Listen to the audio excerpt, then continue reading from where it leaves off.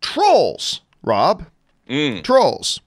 Uh, of course, we've been talking a lot about trolls the last number of uh, of weeks, ever since Universal made the decision to pull trolls from the theatrical release, completely blindsiding the movie theaters. They had no idea they were going to do this. There was no communication between Universal and the theaters, their partners, and all that kind of stuff happened. So they put it out. Now, it should be noted that the first Trolls movie made somewhere in the neighborhood of $46 million on its opening weekend. So now Trolls comes out. Now listen, everything, this is a great example that everything is all about perspective and context. Because I got told by somebody connected to the studio that Trolls did not do nearly as well in its opening weekend of, of coming out on digital this past weekend as Universal had hoped. But then we saw, so I'm like, okay, wow, well, I guess I'm not terribly surprised. But then numbers came out yesterday. They're estimating right now that Trolls made somewhere. I initially said 26, but it actually they're estimating it made somewhere between 22 and 25 million dollars. Which, listen, I get it. Compared to the 46 million dollars that the first Trolls opened in theaters with, um, okay, yes, that's disappointing, sure. But I got to be honest with you. I thought that was a pretty damn good number. And I so I reached back out to the same guy yesterday. I'm like, "What? I thought you said they were really disappointed." And he said, "Well, they are because you know you taking they t- were taking consideration. They really thought that the fact that families were stuck at home and they have the kids under the roof and everybody's going crazy and they're looking for something they kind of anticipated that it would be more." And I'm like, "Okay, I I get it." But I'll be frank with you, that 22 to 24 to 25 million dollars is more than I thought it was going to get. Yep. I'll tell you that right now. That is more than I thought it was going to get. And I just don't know how. Look, this movie's going to lose them money, right? I, I mean, that that's a foregone conclusion. We all knew that. The Trolls is going to lose money. But I honestly don't think it's going to lose as much money as some people like myself really thought it was at first. I think, look, I get it. Yes, everybody's stuck at home. Maybe you thought that would make more people buy than normally would. I, still look at this, Rob, for them, and and I say you got to look at this as a win. I mean, they're going to lose money, yes, but how do you not look at that as a win? Because that's more than I think a lot of us thought they were going to get. You hear those numbers, Rob. How do you interpret it? Well, look, like you, I think it is. This is a new paradigm, and and consumers aren't used to this yet. And I'm surprised, like you. I think this is a win because this is something new that nobody really had done before, and this proves, you know, maybe not for a movie like Trolls coming off of Trolls One, but a 25 million dollar gross is very respectable, and you know they're not necessarily sharing that the way they would have to share it with. I mean, I'm sure there's providers, but I'll bet they get a bigger chunk of that than they would if it opened in theaters. Not to that not number. necessarily. iTunes is notorious for how much of a iTunes and things like that. So it's it's. I think it kind of washes out regard regardless. Oh, maybe Uh, yeah. The point's I- still, well made. Uh, yeah, I, I I don't I don't know. It'll be interesting to see, but I still think it's a number. Imagine when consumers are used to this. Imagine when a movie studio can advertise it's available. What if what if what if a, an Avengers movie opened like this, and and they'd been pushing it for three months or a year? What would that kind of number be? I mean, what what we're seeing is a new paradigm being created, and and and for one of the first out of the gates, this is pretty good. I think they raise a good point though, because we're we're going to get to an LA Times article here in a second, but uh, because they they echo this, but I think one of the things some people like me probably fail to take into consideration that this is a kids animated movie in a time when families have been cooped up at home with their kids for a month. They have nothing else to do, nowhere else to go, and not a lot of other entertainment options right now. And maybe that played to its favor. Let's let's take a look for a second here. The LA Times wrote an article about this, and they have some really good insight on this. They said the following, uh, talking about Universal's reporting on how much uh, they think they made on this. Uh, LA Times said said the following. They said, "But that information that they got from Universal is tainted by the fact that the vast majority of viewers uh, didn't have, even have the option of seeing it at their local cinema.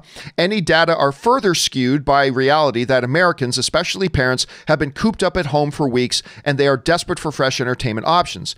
The movie played on only 21 drive-in theaters. God, I still got to get out to a drive-in theater uh, that have not that have not shut down over fear of the COVID-19 pandemic. Uh, Universal acknowledged that the video-on-demand numbers are difficult to interpret. Okay, so the numbers are difficult to interpret. Maybe they're exaggerating the numbers a little bit. All the ca- even if though, Rob, I, I gotta say, even if the numbers are off, okay, even if by Universal's own admission, yeah, we're kind of interpreting and the interpretation is difficult to do right now. And even if you take into consideration the context that, yeah, right, this is an unusual circumstance, families are stuck at home, they're desperate to watch something, even if you consider this is like a 50% drop practically from what it made in theaters on its first day, even if, even if, even if, I just don't know how you look at this as any kind of a disappointment. I, I just don't know if you're Universal. Why would you? Why would you at all be disappointed? Now they're putting on a brave PR face, saying, "Wow, look what we did." But I'm being told behind the doors they're actually concerned about this. But I'm like, why? This is actually, I think, a really good result, and frankly, a lot better than I thought it would be. Look, I don't think you and I have talked about this, Rob, before. Whether it's family films or or movie going or or drive-in theaters or whatever we have to resist, and I know I have to do this especially, we have to resist the urge to try to interpret anything when we're under such unusual circumstances. I get that. It's there's no such thing as the norm right now. Everything that happens right now is not necessarily indicative or reflective of what our patterns will be once we're not under quarantine and we're not under lockdown and all that kind of stuff. And I get this. I get that. So you, you shouldn't look too hard at any of this stuff as any sort of patterns. But again, I that ain't bad. I mean, it's I, I and listen, I'm I'm the one who's like, guy, wow, this is going to be tragic. Oh boy, this is going to be tragic for Universal. Whoo, they're going to take a bath on this. And I'm the one telling you now, this is not a bad result. Rob, listen, what would be, let's say you're behind the doors at Universal right now and in their war room.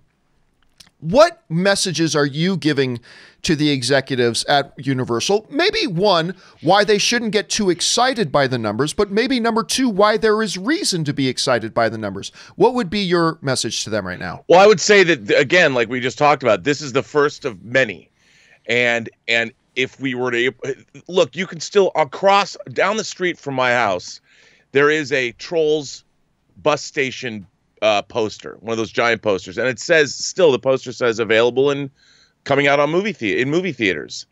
You know, so the marketing. Can you imagine if they marketed this as one of the first direct to streaming world premieres of a major theatrical release? If they had begun their marketing with that months out, so people that were Trolls fans could make it an event. This was something that was thrown together at the last minute that did not have the benefit of massive marketing behind it, and it still made 25 million bucks, which shows that people just just from the established infrastructure that's already there, enough people found it where they made that much money. But imagine if you marketed it that way so people knew it was coming. I would say you are at the very bottom of a whole new hill to climb. And this this is a new frontier. You're going to butt up against when this whole COVID 19 thing passes, you're going to butt up against exhibitors, movie theaters. There's going to be a, a whole new universe is opening up, and we have to decide. You know, it's like the ring in the expanse when you go through the ring to the next section of the universe where all those planets are to be colonized. What are you going to do now that there's this whole new frontier, and how is that all going to work?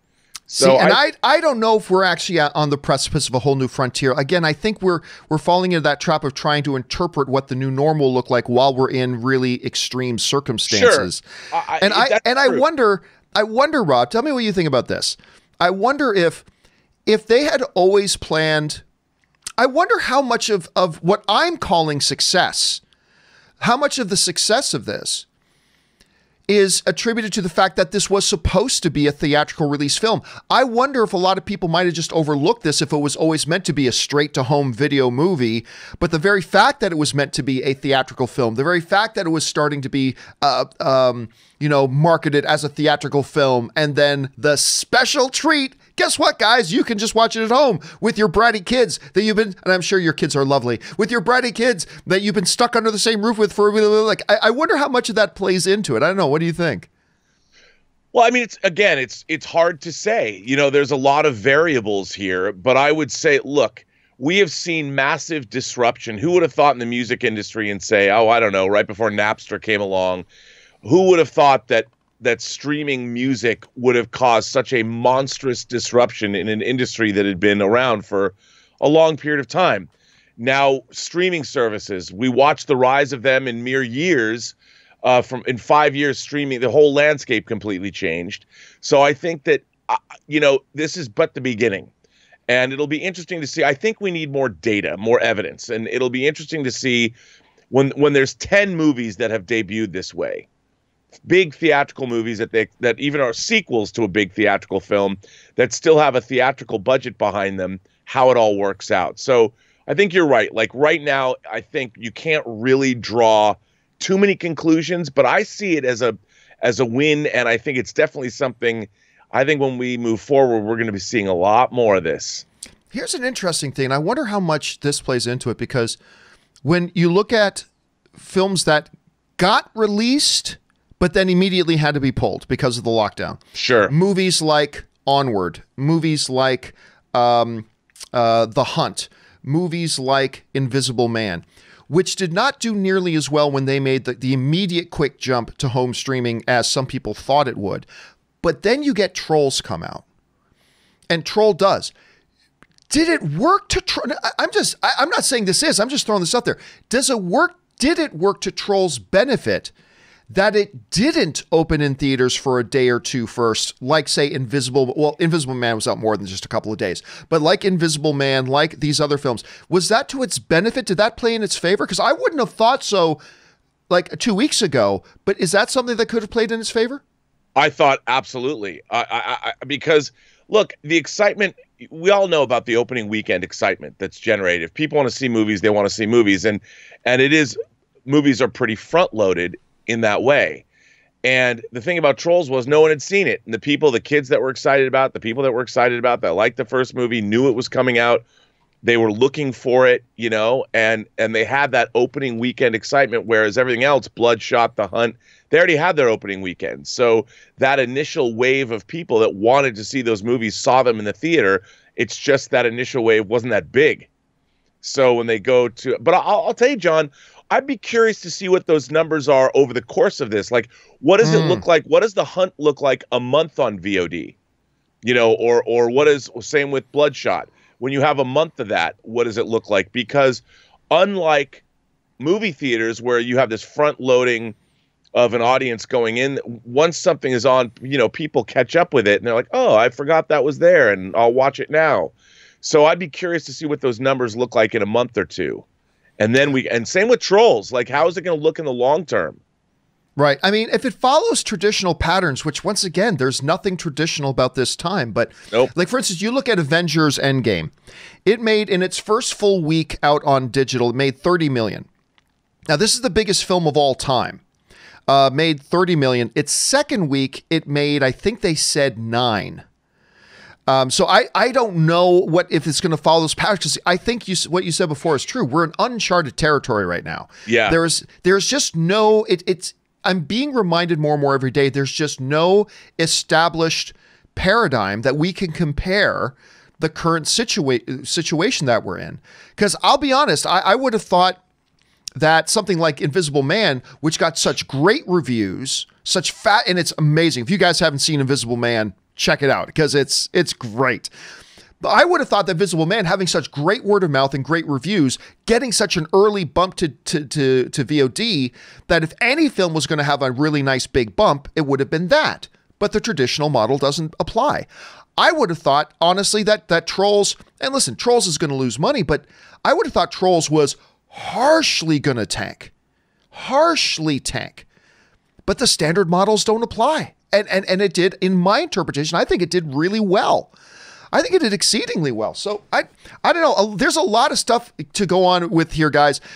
Question is, What do you think about this? Jump down into the comment section below and let us know your thoughts. And I'm sure we'll probably get around to this a little bit more in the uh, live questions part.